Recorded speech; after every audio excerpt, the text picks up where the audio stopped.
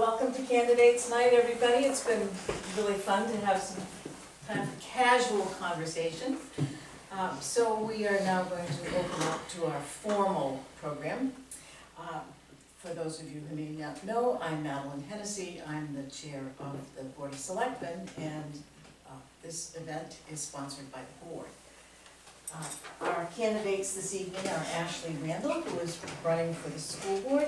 Uh, Ashleigh has been a good member of the school board, and um, I can't say that I, I guess it's prejudicial, but I'm gonna say it anyway.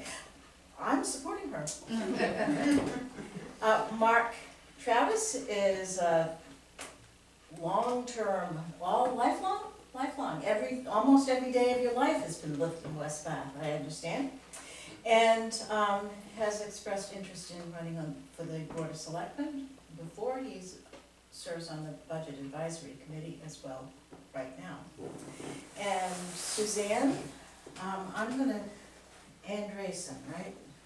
And tell, would you say it, your name properly, because I want people to understand better. Andresen, but with an E at the end, I don't know. Andresen with an E. No worries. Well, You're halfway there. I understand, I understand that for people who all have Os and Ns, it's an important distinction. It doesn't hurt my feelings at all.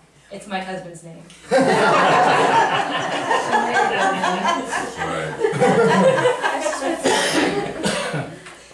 So what I would like to do um, is have a more or less informal discussion uh, as your, about your hopes and dreams for the town of West Bath. Um, But first, uh, I'd like each one of you to say a little something about who you are and your hopes and dreams for the town of West Bath. And Ashleigh, as you're an incumbent, um, why don't you go first? You're also first at the table from my, from my direction, so. Thank you. So my name is Ashleigh Randall. I have lived in West Bath going on thirteen years now. I have two kids in this uh, West Bath school, a fourth grader and a first grader. Um, This would be my second term on the school board, and I just am very proud of the work that we've accomplished in the last three years, and I would just like to continue on that track um, with more of a focus on community involvement and getting our kids into our community and our community into our school. I think we've done some great work, um, including being credentialed as a EL school, and would just like to really follow along on that path. Marc? Uh, I'm Suzanne Andresen. I've been a resident of West Bath nearly 20 years with my husband Scott and my son Tyler. Um, I decided to uh, put my hat in the ring for the selectman position as I want to give back to the community. I, I've really been involved um, in some things with the Boy Scouts. I've been a uniform leader for 11 years and my son recently became an Eagle Scout, so I can now transition out of that and into something that's um, more local to our community. Um, I uh, think we have a terrific school platform. Um, we have a unique position that some of the communities don't have, where we have an elementary school that feeds comfortably into our partnership with the RSU one and also accommodates vouchers for students that are outside of that or perhaps want to explore other opportunities that don't meet within their educational spectrum. Um, and I appreciate our fiscal responsibility. We've been able to take our mill rate from eleven point one down to ten point five, and I'd like to um, continue that momentum. We've got a great community and I want to give more into it. Hi, I'm Marc Travis. I've lived in West Bath my whole life. Um, Short and sweet, I'd like to just help out with the town and give back to any way I can help. Thank you. Questions? I'm- I'm counting on you all to make this a little bit longer than a five-minute.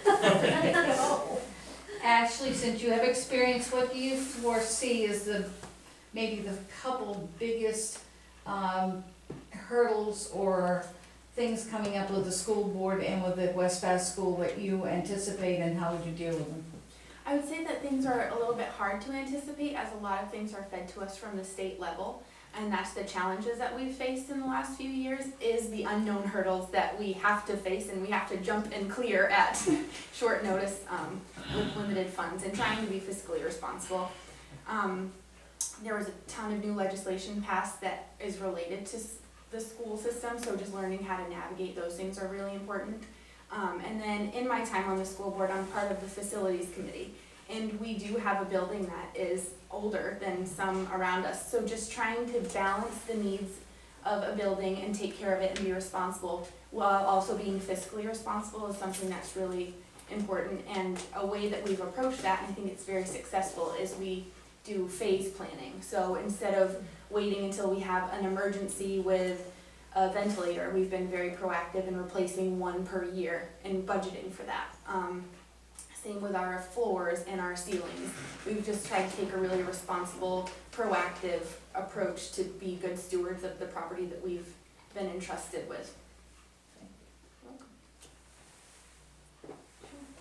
Ashleigh, are you running unopposed? I am. Okay. Second question is, you said, um, something about getting the community involved in the school. Can you give me an example of what that would be? Sure. Um, so in addition to being on the school board, uh, my husband is a deputy fire chief of the West Bath Fire Department. And though I don't, I'm technically a support staff, so an unofficial member of the fire department, um, I'm very involved with that. We had our fire prevention open house last night. And so, um, last Friday, my husband and I went to the school as members of the fire department to um, introduce the kids to a firefighter in gear so that they weren't scared and talk to them about what an emergency is versus what it's not. Um, so just opening up more of those discussions instead of having um, different subsections of the town that we live in just all working together as a community. Or if there's any opportunities for the town um, as a whole to work with the school so that it's not a closed off sort of place that only people that have children in the system are interacting with. Um, we have a celebration of learning two times a year that's part of our uh, curriculum and just seeing, I think that in the last few years we've had almost 100% um, of the kids in the school had a community member coming to the celebration of learning to see the work that they've done and to see that it's not necessarily a parent or a grandparent. Um, I went to the summer school, um, summer STEM celebration of learning, and there was staff members of the school that weren't even involved with summer STEM. They were coming back to see the work that the kids were doing. So just sort of opening it up so that the school isn't necessarily just a place where you go if you have kids there. Thank you. Other questions? Um, uh, Marc, I understood that you, um, plan, you serve on the budget committee. Yes. Um, how long have you done that? Uh, I believe three years. Three years. And will you be continuing with that? If I'm allowed to. Oh, Okay, I'm not, am I allowed to do both? I think if you're a selectman, you probably just do that and not be on the budget committee, so. oh, okay, I didn't know if there was a division there. Yeah. Uh, as, if you were on the board, you would, as, of course, be welcome to attend all of the meetings. Yeah, You wouldn't necessarily be a voting member of the committee, but you would certainly be um, allowed, allowed to be at any of the meetings. And your experience uh, from past budget is, uh, is valuable. Suzanne, um, um, how do I say this? What, what, what, um, professional skills or past professional skills or past experience do you think that you'd bring to this, um, position? How much time do I have? So what'd you do before today? Well, my husband and I started a deli from the ground up, so I know what it takes to run a business and balance funds and pay bills and make sure that you meet expectations. Um, I have been selling magazine advertising, uh, from a home office in West Bath for a very long time. I'm the chief revenue officer of our magazine and, um, we are doing quite well, so I feel I can bring a, um, fiscally responsibility, um, to that and understand how to run a business. I'm not gonna ask Marc that. Well, I, I will ask Marc that. I know a little about Marc, but Marc, what skills do you have that you think that you would bring to this selectman position? I'm not sure what I need for skills to be a selectman, cause I really don't know what the selectman job entails. It's gonna be a completely learning curve. So I don't know how. I've seen them be patient with other people that they s- brought to the committee, so I think that, that can happen. You know, There's always a learning curve. I'm banking on it. Well, Marc, I don't know much about you. What is your profession or your work now? I drive a school bus. Okay. I drive in Georgetown. uh-huh. And you, Own a you're a lobster boat, fisherman? Mechanic. Plow snow. Handy. Busy. Yeah. Good, thank you. For all three of you, uh, pick the order that you would like to respond. Um, Two-part question. What is it that most excites you or that you like the best about West Bath? And then what problem might you see and how would you solve it? Oh, start with Ashleigh. Um, so what I have learned being in this, on the school board for the last three years, is I'm very hopeful for the town of West Bath. Um, the kiddos that we have coming out of our school are very inspiring from kindergarten, pre-K, all the way up through. Um, they're doing really good things and they're really good humans, and that's very hopeful for me. Um, the problem that I see and how we're trying to combat that problem is the community involvement and trying to um, remove the separation of the school is not relevant to me because I don't have children in it. Um, and so getting the getting the town involved in coming into our building and seeing the work that our kids are doing, sending our kids out into the community. Um, they are the fifth graders go to Maine Maritime Museum and they build boats uh, every week and the feedback that we've gotten from that is amazing. Um, we've had people in the community say, I can tell a West Bath kid. Like it's become sort of a term that they can, their behaviors, and we're teaching them to be good citizens. And so I would say that even though it's a problem, I am very hopeful that there is a solution and I really want to be a part of that. Marc? Oh, no, I'll leave this for you repeat the question, please? It was a two-part question. What is it that you like the most about West Bath? And the second part of the question is, what problem do you see and how would you solve it? Well, I've lived in West Bath my whole life, so I don't really have anything to compare it to. I mean, West Bath's a great community. Um, Everything I've been involved with is always good people. I've been part of the fire department at one point in time. Um, I got plow contract in West Bath. And people I have to deal with with that are very good people. Um, problems in West Bath? I'm not sure. I don't know if I've ever seen any problems that is I'm aware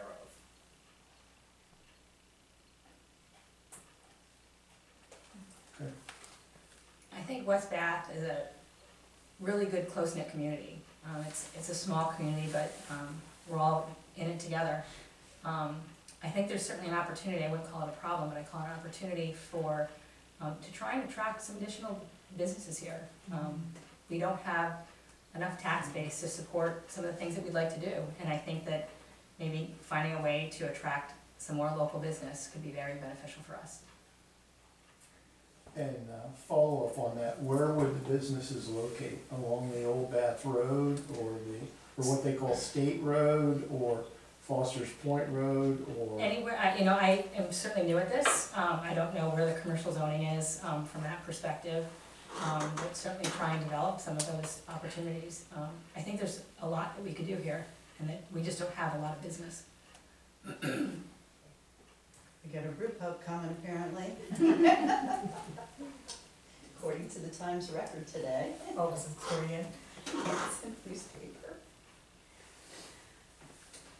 I have a question for all three of you, and obviously the answers are directed in a different way. If you, if we could dream a little and you woke up tomorrow and a business or something came into town and suddenly we had an influx of revenue that we hadn't anticipated, what would be your first priority to spend it on? If you would spend it at all? Hmm. Um, I think from my perspective, seeing on the school board the last few years that we've gone through, I would like to maybe bulk up some of our capital accounts that we've had, um, to have some safety nets, that would be a priority. Um, a second priori- priority of mine would probably be to expand some programming. We have a lot of positions at our school that are part-time positions, um, as far as, uh, PE teachers and music teachers and things, uh, art teachers and things along those lines. So to be able to expand those to five-day-a-week positions, I think would be a great thing. Um, and then just being able to have that buffer to be more comfortable with, um, repairs to our building or maintenance to our building, so that maybe instead of having to knock things out one at a time, we could just take care of them all and have a clean slate. But I think that the way that things are going are sustainable now, but it's always nice to have more. How much money we talking? It's. Three hundred thousand dollars. Three hundred thousand. It's. What would you spend it on? Or would you spend it? Three hundred thousand. When you're trying to do something in a town, I don't think three hundred thousand really goes very far. I mean, being on the budget. I mean, you could spread, spread it through the town, make everything a little bit better, but What about things like roads? Do we do enough in our road maintenance? Um, roads would definitely be a good priority to fix. Cause there are some pretty horrible roads in West Bath. They're coming around, they're getting better, but roads definitely could use some repairs. Suzanne? Um, I'm not adverse of saving it for what we, if we have an expense coming our way. Um, it, it's, I'm sure there's some out there, but we need to prioritize how it's gonna be spent and not just, um, spend it because we have it. But you don't have any preconceived notion of a need that would, would, would get your attention? Not at this point, I don't, I'm too new at this to really determine, um, what the appropriate nature would be. That's fair. I, I got one more question for Ashleigh, and, um, you talk a lot about the, the excitement of our K through five school. I guess it's pre-K through five now. Yeah, yeah. Um, and, and I share your enthusiasm, it's, it's, we have, we have a great leader, Yes, we did. and, and we have a lot of very good teachers. And we've got families that care, and that's a great combination. When they leave West Bath Elementary School, they go to middle school and then high school somewhere else, most probably to RSU one. Um, um, What, what, I know we have budgetary responsibility to pay for that, Mm. for those students. What influence do you as a school board member have to, to influence change or encourage change or improvement in things you see beyond fifth grade? I think that having the kids in our building through K through five, we have a tremendous opportunity to sort of lay that foundation that whether they're in our building or not, can follow them to six through twelve, and the families are still with them through six through twelve. So I think that while we are limited into sort of where we can send them and the opportunities that we can send them, we can equip them to thrive wherever they are sent. And then if we really focus on that community sort of aspect, that's what's going to carry them through the six through twelve, even though they might not be in our building, they'll have the community and they'll have the foundations. But, but we don't have any, we at West Bath citizens don't have any real influence on programming and things that happen at the middle school or high school. Right. won't talk to us. I'm not sure how to facilitate that better, but it would be something that I would definitely be willing to have some discussions about, to see if it's something that we, it's, it's sort of hard, because mm. it's We hard. to- left, we left we did leave, yeah, and, um, it's, it's hard to go into somebody else's realm and tell them how to do things, because while something works for us in our school at K through five, that may not work in RSU one schools, it may not work in Brunswick schools. So just, although we might not have a immediate tangible solution, um, there may be conversations. I don't think it's a bad thing though, to, to have, if they, I, I think having a voucher program, um, gives students a chance to explore other avenues. There's charter schools or things, not all students are cut from the same mold to fit into those particular schools, mm-hmm. and they can develop their own educational style, and we can foster that, and, and that's actually a really strong point for West Bath, is our students can go wherever they f- feel they fit in best. Oh, Not all of them. Twenty-five percent on the voucher program, and that's limited only for ten years, and then it's up to us at that point to determine where and how we use the voucher system.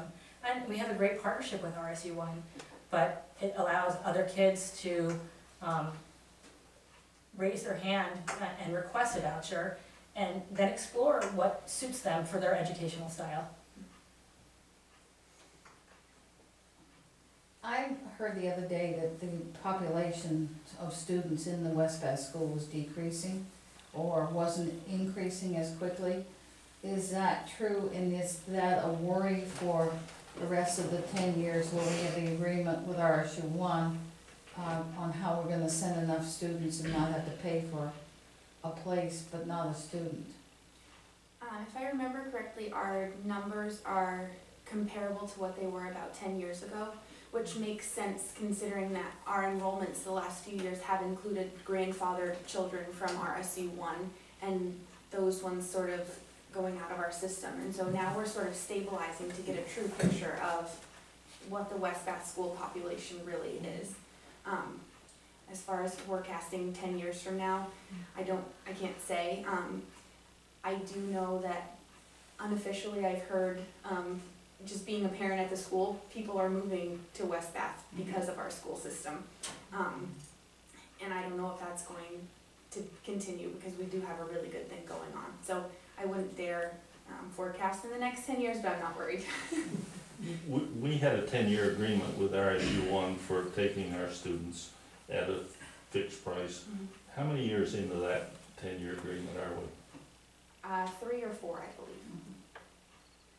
We were guessing today. Thanks, We, we have an expert. Emily, how, how many years are we into, into that We're just starting year number five. Yeah, that's what I was thinking. Do you have any, do you have any ideas or options or thoughts about trying to recruit kids into the, um, West Bath Elementary from other districts? Uh, we do have a tuition option, um, and I think that that provides opportunities, but I also, I like that our school is a small community school. And so, I don't think that there's anything wrong with the way that things are, I don't know if I would want to, I personally would be an advocate for exploring that option because I like how things are now. Well, one of the reasons I'm curious about the schools so much, even though I know you're running unopposed, mm-hmm. it is, what, sixty-two or sixty-some mm-hmm. percent of our budget, mm-hmm. our annual expenditure of tax money, so it's a big deal. Absolutely. And I've learned a lot in the last three years of being on the school board, um, that unfortunately, a lot of that is out of our control. And that's one thing that I would really like to see our community get more involved in as far as, like what I was saying, um, about the legislation, legislation earlier is so much of it's directed at the state level. Um, that I think that those conversations are really important to happen not necessarily just looking at our school budget and wondering why it's going up or down in the town of West Bath, but that's a, a larger scale conversation that needs to happen with our state representatives. unfunded mandates are often not our friend. Especially being a minimum receiver. Yeah. That's one thing, does, does anybody have any ideas on how to, um, influence the legislature or, um, possibly have a group of people who constantly represent the town at, um, being an advocate for West Bath and an advocate for ideas that would benefit us as decreasing or stopping new unfunded mandates? And that's, that's one that could, all, all of you could answer. I don't have the experience to comment on that at this point with the, with the mandates and the educational programs. Um, I'm certainly prepared to look into it, but I, I don't have a history on it at this point. Same here. I know that we've had um, conversations, um, one of our representatives has attended a few of our meetings, but it's sort of just to say to us, keep trying, so. Yeah, I am vote for me. Yeah, so I think it's a conversation that needs to happen, um, but on a more, uh, what's the word I'm looking for? More people than just the, the couple of people that sit on the school board or attend the school board meetings. I think it's a, a town-wide thing mm-hmm. that certainly would lend support. Okay, one of the things I find is we're newer residents and we love being here and we're strong advocates for West Bath. And probably ninety-five percent of the people we talk to locally don't have any understanding that West Bath is a separate community. How could we toot our own horn and one thing through real estate to make people understand West Bath is so attractive, particularly to young families, or in other aspects where people would understand that we actually are here and what we have to offer. I don't know how that would be. I think with us, um, and with my little ones, I think that's part of the community initiative. Um, a couple of years ago, for Valentine's Day, instead of doing parties at, in the classrooms, each class picked a random act of kindness. And so my daughter was in second grade at the time, and we went and we stood in downtown Bath and handed out flowers that the second grade class had made. And when people are like, where are you from? Like, this is West Bath. So just having those conversations and getting people out and about. I don't know if there's a, a brochure that could explain the greatness or if it's just something that you have to see and you have to witness firsthand. But I think that those sort of little acts are gonna be what sort of advertises for us. uh, for all three of you. Is there an opportunity as we um, complete our uh, commitment to RSU, and do we have a continuing commitment to the um, school unit? Or will we be prepared to market uh, our students and also our revenue, you know, to other school districts? Uh, So whether the school board will get involved in that, or the selectmen, and uh, have other school districts express interest in the West Bath students as they uh, leave fifth grade. Our son is tuition to Brunswick. Um, he went to St. John's through sixth grade, and we chose to keep him in that community because it was the community that he was in Cub Scouts and Boy Scouts with, and most of his friends were from there. And, um, I think Brunswick is very interested, should we pursue that avenue to have some of the kids, um, come there. Uh, I- and I think we can certainly market that. That's, um, an opportunity that we could, um, chat with several surrounding communities and, and see what their thoughts are on how they'd like to support our community and attract us to go to them, because it's, they, it, to them, it's a gift. Um, we're not in their budgetary plans, and, um, so we hold value in those vouchers, and we could certainly substantiate benefit from that, um, in, in partnering with some schools outside of our fifth grade level. So there's, I think there's an opportunity for us there. I would agree. Still stabilizing from the withdrawal process and seeing what that looks like on the budget to have the sort of next transition conversations, but I don't see any harm in exploring opportunities. Thank you. Mm-hmm. You're welcome. We'll discuss this later. Quiet right home. Oh dear. Are there other questions? I think we've had some good answers. Um, and thank you for all three of you, for your interest in continuing work for the community of West Bath. Just a- an editorial comment, that people have not known that West Bath was a distinct uh, community is a long-standing issue. I remember as many as more than half a century ago, when my father was being introduced at various public events, he would make sure he emphasized West Bath. And people would say, oh, I didn't know it was a separate community. Even the post office doesn't know. I argue with people when I place an order online, they said, oh, it says it's Bath, man, I'm like, no, it's West Bath. man. Our zip code. Maybe we're gonna get our own post office. Oh, my goodness. We have to have a few more people. That, no, we don't. We can still get our own zip code and use the Bath post I, office. when I lived in South Dakota, in a community that was one mile square with about a hundred residents, we had our own post office that was mm-hmm. part-time. A- And we have more than that, and we're bigger. Our postal delivery is part-time, and they don't come in a truck, so. The post office can manage more than one zip code in the same post office.